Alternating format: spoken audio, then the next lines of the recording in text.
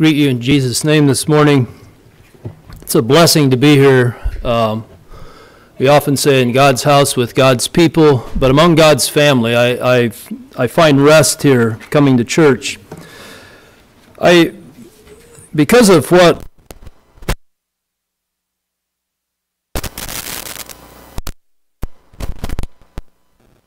visitors that are here, uh, I was reminded of, of, of one more thing that, that I kind of missed in my studies.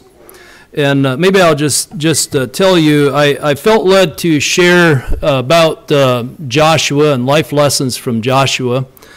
And uh, I thought of three words, three things, three character uh, attributes that we we often, and maybe you don't think about it so much, but I, in, in our line of work and communicating with, with customers and people, something that we often stand around and talk about is the lack of commitment and faith in our culture. Commitment, faith, and courage to stand up and go forward in the, in the Christian walk. And I'm going to add one more just because I, I thought of it and Leroy stressed it and that is the, the, the fourth one is faithfulness. Uh, I couldn't help but sit here and think that I don't know numbers. I mean, years wise, maybe it was about 70 or 75 years ago. There was a young couple that had a plan or or a faith that they carried with them and their young family to church. And today, grandchildren, maybe great grandchildren, are sitting here because of their faith. It influenced and it kept and it keeps on influencing. And tell me your father-in-law's name. I'm sorry. Wallace Byler, Wallace Byler and his wife. Uh, it it blesses me that that that took place all those years ago, and it's still affecting generations today.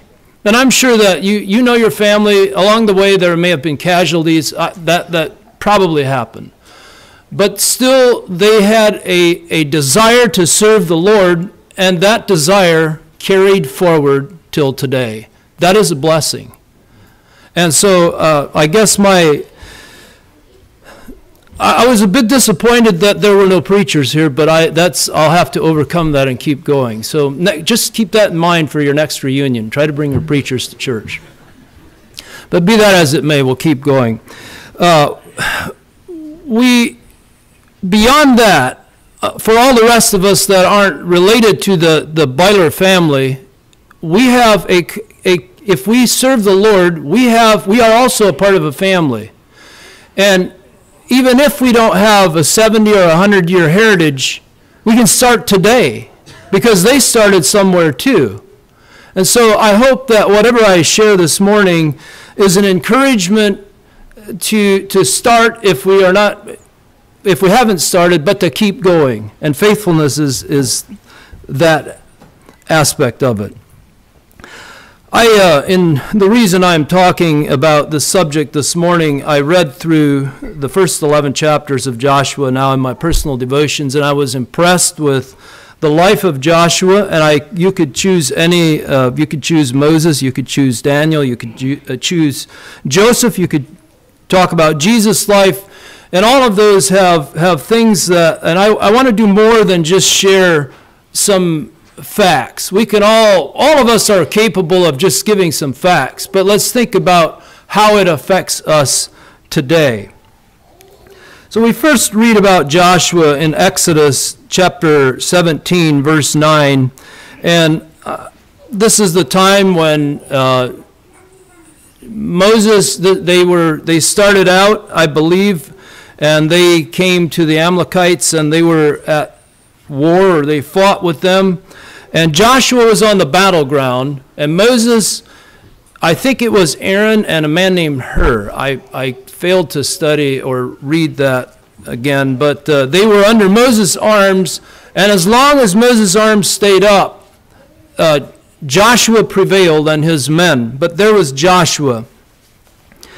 And just some uh, things uh, where we, um, I'm, I'm not going to be reading a lot, just maybe talking a little bit here and there where we, we see Joshua again.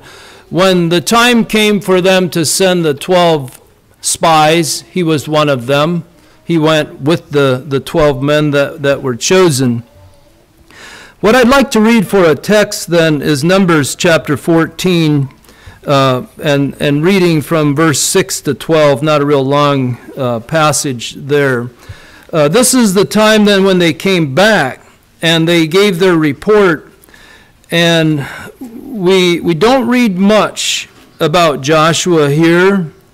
We don't read, but we read enough to know who, what his, his focus was. And Joshua, uh, we read about him in Numbers uh, 14, start at verse 6. You may stand if you want while we read uh, um, for those that can and want to. Verse 6 And Joshua the son of Nun and Caleb the son of Jephunneh which were of them that, that searched the land rent their clothes. Maybe give a little bit of background. We know the story, we're all Bible readers, but the other 10 had said, not possible. There are giants over there. There are things in that land that, that prevent us from going forward. There, there's no way. We know, we've all heard this before, but here are Joshua and Caleb, and among not just the 10, but the crowd they, they, I don't know if they calmly said it, but somehow they rent their clothes, so they must have been pretty passionate about what, passionate about what they were saying. And they spake unto all the company and the, of the children of Israel, saying, The land which we passed through to search it is an exceeding good land. If the Lord delight in us, then we, he will bring us into this land and give it us, a land which floweth with milk and honey. Only rebel not, not ye against the Lord, neither fear ye the people of the land, for they are bread for us. Their defense is departed from them, and the Lord is with us. Fear them not. But all the congregation bade stone them with stones, and the glory of the Lord appeared in the tabernacle of the congregation before all the children of Israel. And the Lord said unto Moses, How long will this people provoke me, and how long will it be ere they believe me, for all the signs which I showed among them. I will smite them with the pestilence and disinherit them, and will make of thee a greater nation and mightier, mightier than they. I'm going to stop reading there. You may be seated if you like. So there's not, there's not much, we don't read much about Joshua here, but we do understand where Joshua was and where his focus was. He said, if God is with us, along with Caleb, then we, we can do it. There, there's, uh, he supported Caleb, and, and those two stood together in trusting God. They, they had their eyes, uh, maybe not so much on the big crops over there and the fruits that they had, but they had their, when they spoke, they said, if God is with us, we can do it. They didn't say, we need to go fight for those that big cluster of grapes or we've they've got things that we want but they they just they had the courage to focus on God and again and again I want to come back to those those words courage commitment and faith I would say that that those are the three or one of the, the group of, of characteristics that our society so desperately needs today we need commitment. We need courage and we need faith to keep to stay where we're at, to keep going. Now I'd like to talk about something that I can only I, I grappled with this a little bit, but it is something that I believe all people that are my age, older, even younger, have faced and will face in their journey with the Lord. As noteworthy as his courage was and his faith, and we should be talking about that. There, there's that, that, that's something that we should be talking about. As noteworthy as that was, something that really struck me was the silence that we have on Joshua for a lot of years. A lot of years between when Joshua said, We can do it, until they actually did it. Some of the things that he could have, we could be reading in, in his uh, story that we don't read. And sometimes what what we don't read is as important as what we read. He could have been the biggest whiner in the camp. If only you would have listened to me and, and Caleb. If you, if you just would have, you know, we would not be walking around in this wilderness. We wouldn't be having a funeral every couple weeks we, or days. I don't know. There were many that died in that, in that journey because of their hard heartedness. I told you it's going to happen. All of these things we could read. We wouldn't need to be here if you listened to me. If only you would have just paid attention. We had a message for you. But all of these things you don't read. You don't hear, you don't hear from Joshua. Or he could have said, if that's the way you're going to treat me, I'm out of here. I've got better places. My talents, my time, my effort, there are better places for me to go. I don't need to be here. This is a bunch of uh, hard-hearted hotheads or whatever, cowards. I don't, I don't want to associate with these people. All of these things you don't read, you don't hear. Joshua was in a season of silence, and I'd like to reflect on that a little bit because I think that is something that we all have to grapple with. And maybe I'm, well, I, I think it is true that we have to grapple with this. You know, when we talk often, when we hear messages uh, about Joshua, what is the most famous thing that Joshua said? Someone help me out. What did Joshua say?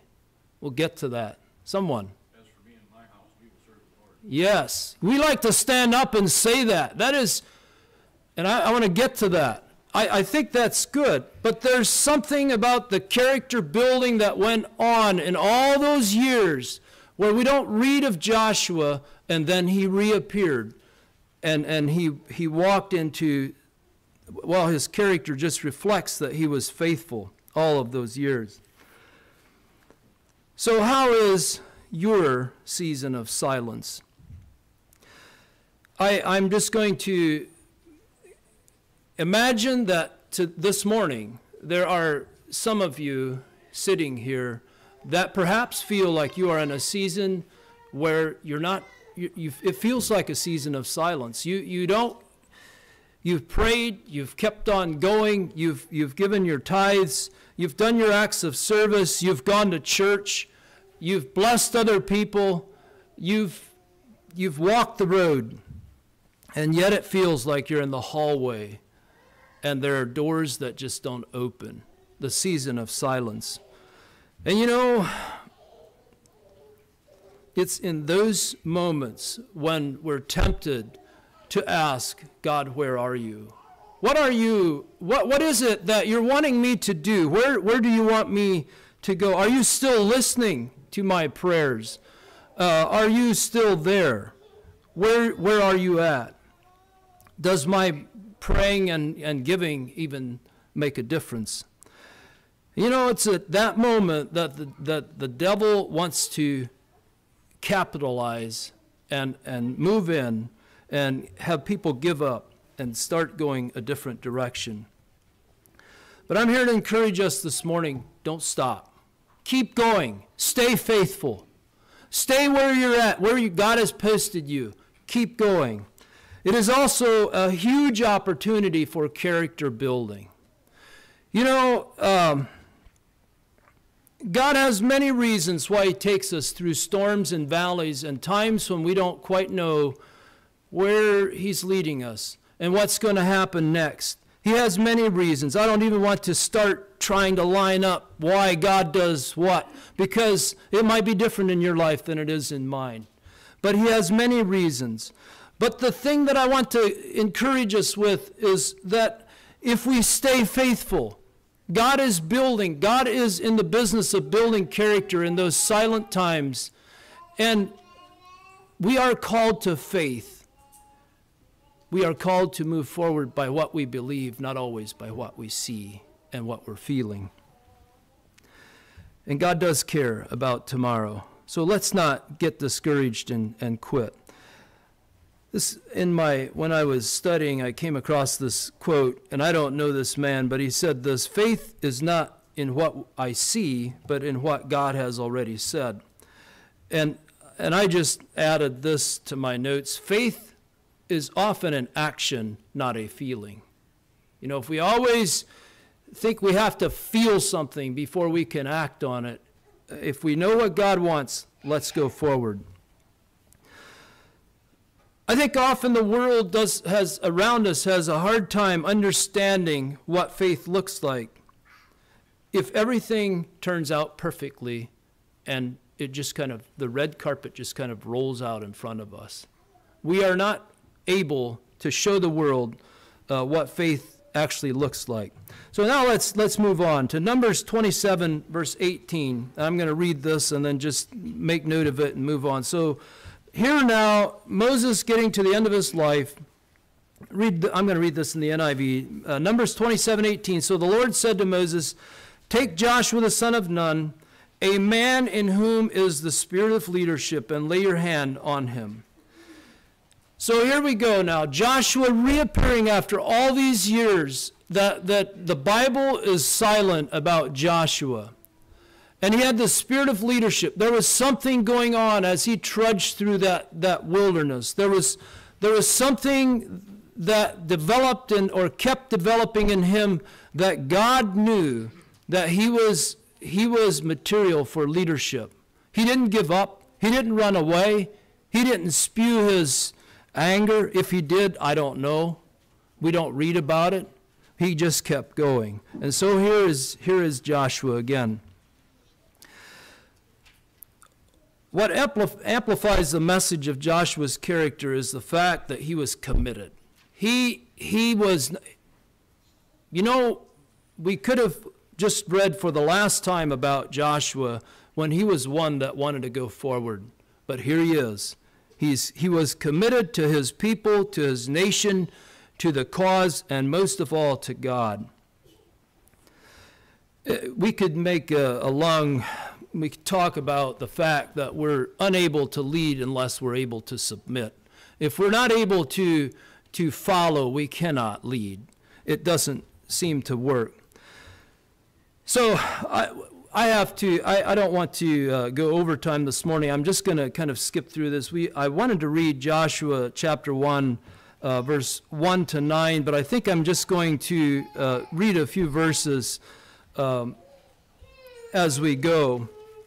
So now Joshua, as a leader, um, speaks, in, in, or we, we read of him in, in verse chapter 1, verse 2 of Joshua. Moses, my servant, is dead. Now therefore arise, go over this Jordan, thou and all this people, unto the land which I, I do give to them, even to the children of Israel.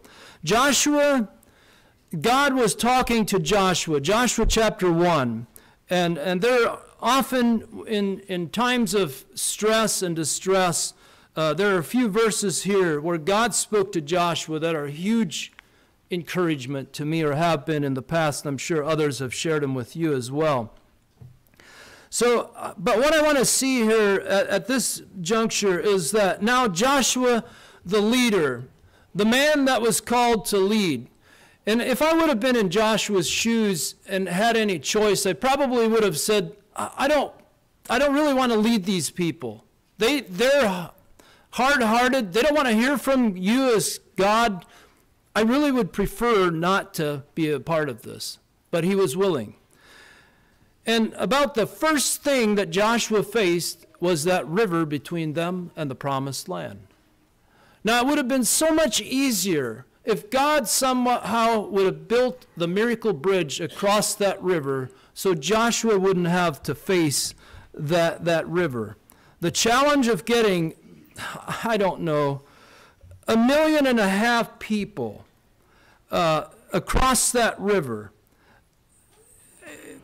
But you know, Joshua was a man that had learned to walk with God, and he trusted God, and he was committed to God. And so I, I, I think that what, whatever we accomplish in life, whatever Joshua accomplished in life, is really to glorify God. That's why we're here. We are not, this is not a message to glorify the man, but the character of God within the man. And so I want to reflect a little bit on the miracles that happened uh, for Joshua and the people there. The river uh, that stood still.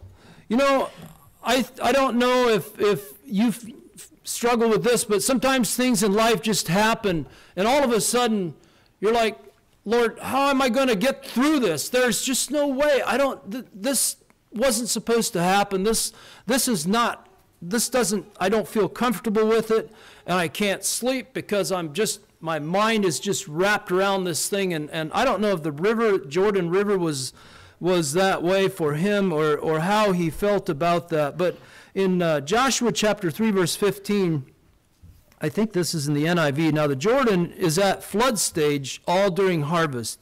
Yet, as soon as the priests who carried the ark reached the Jordan and their feet touched the water's edge, the water from upstream stopped flowing. It piled in a heap a great distance away at a town called Adam in the vicinity of Zarethan, while the water flowing down to the Sea of Arabah, that is the Dead Sea, was completely cut off. So the people crossed over to the opposite and into Jericho. And so I, the miracle that God worked in all that happened to Joshua, it was always about God working his way and allowing them to, to reach or to, um, to gain the objective or, or to get through. So, that, in my mind, was the first miracle. But God told Joshua, and I don't know how all this worked because I have not audibly heard God speaking to me. Now, we know what the word says, but uh, it worked and that million and a half people, or however many people that, that walked across, you know, we grew up hearing this story. It's almost not big deal. Jordan River, yeah, they walked across. Had I been there that day in Joshua's shoes and watched that procession, I don't know what I would have done. Probably rejoiced that, that it was happening. So, what other miracles uh, happened? The, the walls of Jericho falling are miracles, is a miracle that we've talked in our Bible school and our Sunday school lessons from little up. We just, you know, we just know that they walked around, and then the seventh day, or I don't even have the facts maybe completely straight, they walked around seven times, and then they marched toward the wall, and boom, there it was. Again, God, through Joshua and his people, magnified himself. What other miracle do you think of that happened in Joshua's watch that is that was phenomenal? Someone.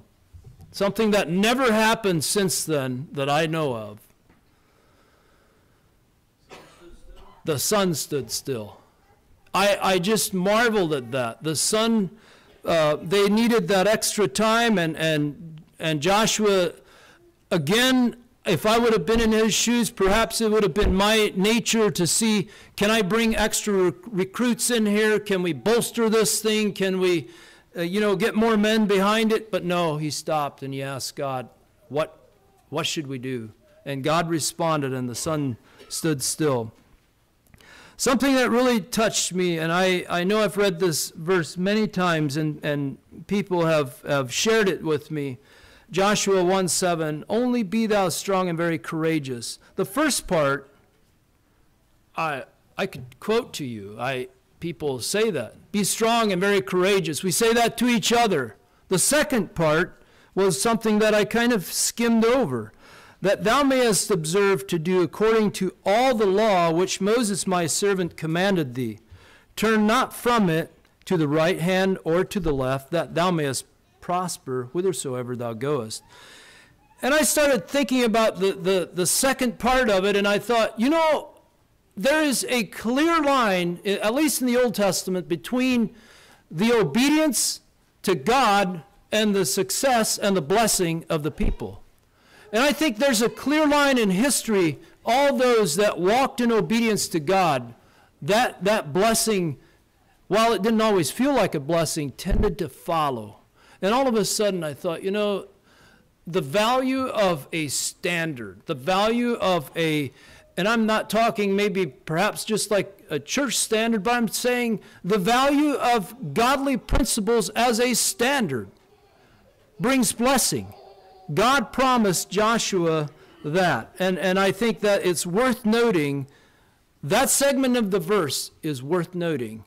God promised him that there would be blessing as long as he was obedient. And that followed all, all the people for uh, the nation. Now, we can't help but look at a, a few of the weaknesses that Joshua had. And hopefully, there's something that we can learn from, from a few of these failures. You know, we, I, I learn sometimes the, the best when I failed the deepest.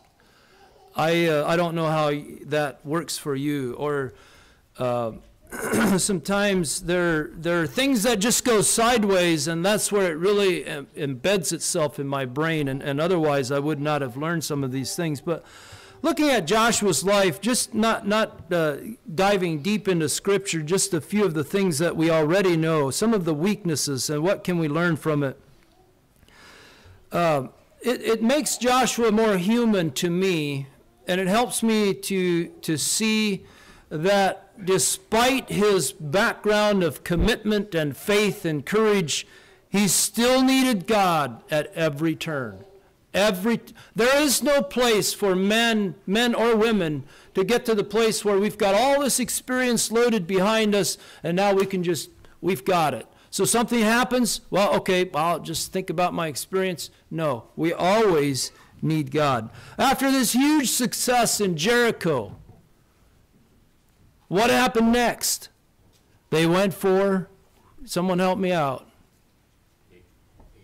Ai. And we know what happened. Now, I, I read the story, and we know that Achan failed, and there was sin in the camp. There, were, there was hidden sin, and we often talk about hidden sin, but there's something else that happened. I tried to figure out if Joshua ever asked God if they should move forward, and I couldn't find it. And so I, that is something that I'd like to, to present to us this morning. The Bible says in Joshua 7 2 simply that, and this is just a part of the verse he sent out men. So it was time to move on to the next place. And logically, humanly speaking, that was the next town in, in line. So let's go. So Joshua sent out men. And it was disaster, defeat. Joshua ended up with his face to the ground. And I guess what I'd like for us to think about beyond the, the, the sin of Achan and the, the purging that went on there think about the fact that we never get to the place, I, I don't care how minute, how small, where we shouldn't stop and ask God, What do you think?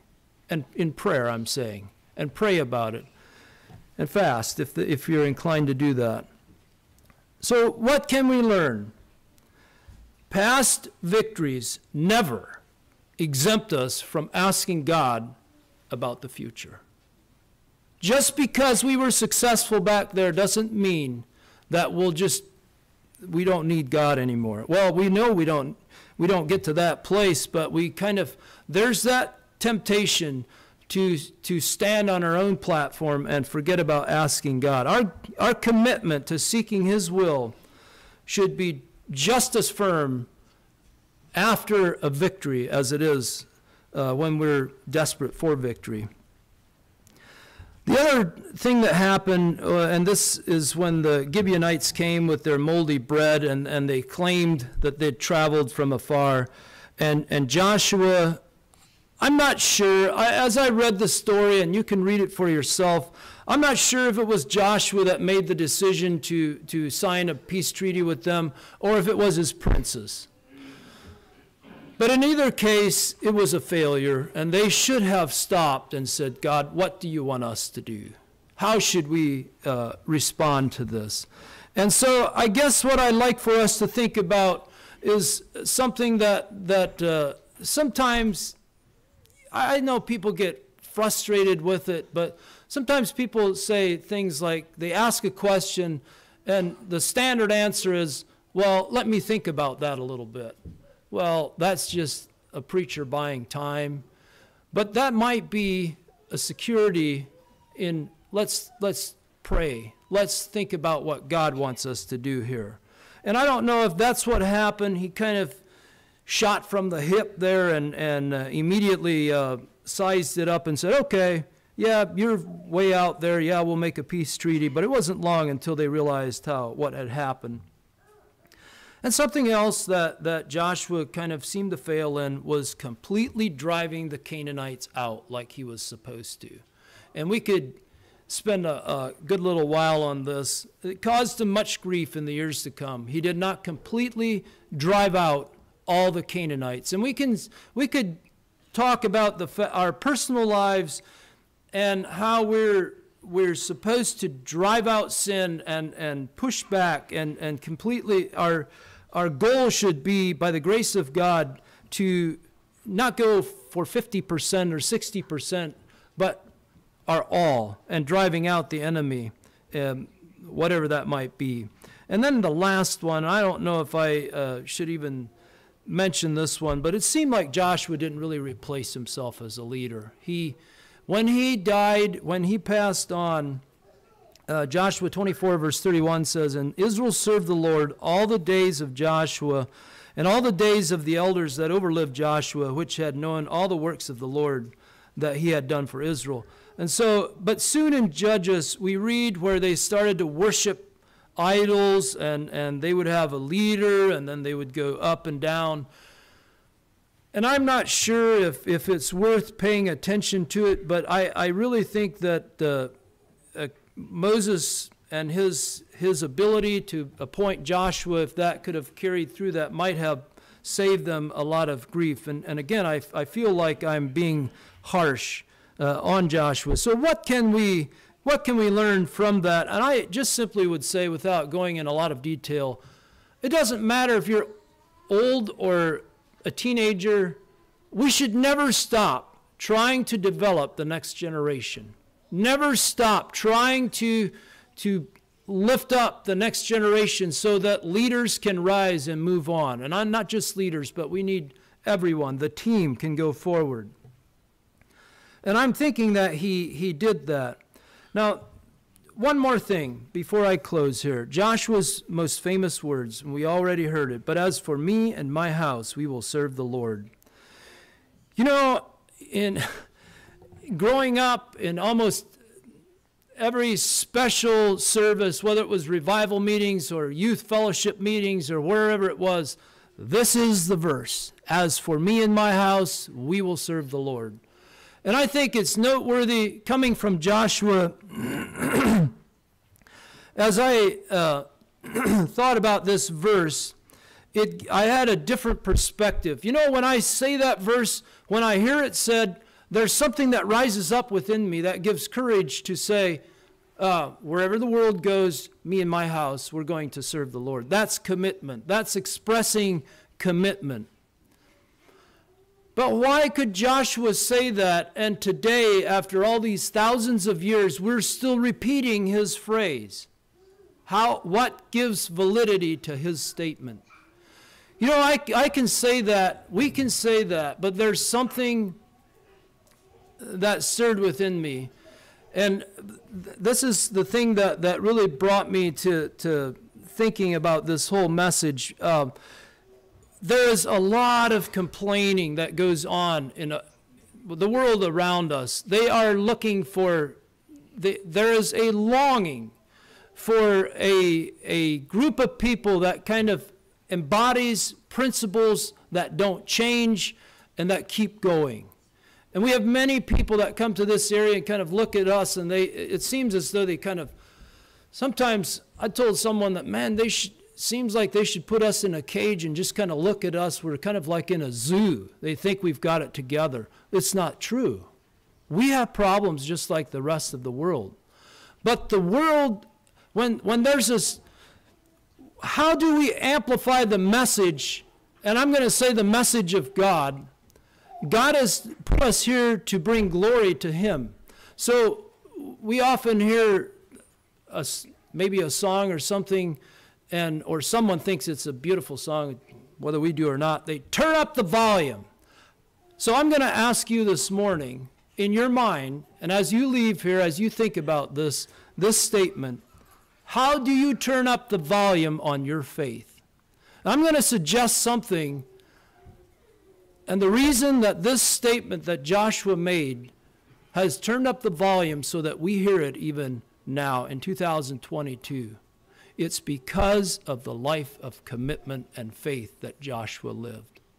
Had he lived a faith, had he lived a life that would have called into question whether he was actually authentic or not, that would have meant nothing.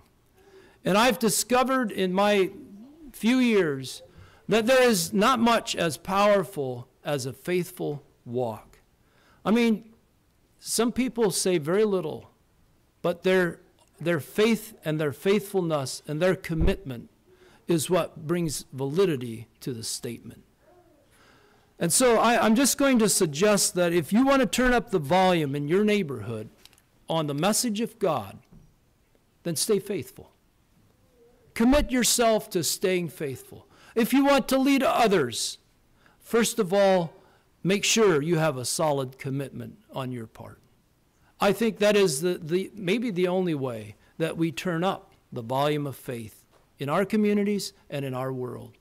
And I can tell you with assurance that the world is looking for it. There are people that are hungry for it. There are people that are moving in this community right now because they want to be close to what they perceive as a community that is filled with faith and there's peace here. If you want to turn up the volume, be committed. And I'm saying commitment sometimes goes places where we don't, no one else sees it. No one else sees us in our prayer closet. No one else sees us preparing for the Sunday school lesson. Commitment. Be committed, be faithful, and walk with courage in faithfulness. And God will bless us, and the volume goes up. Let's stand and have a word of prayer.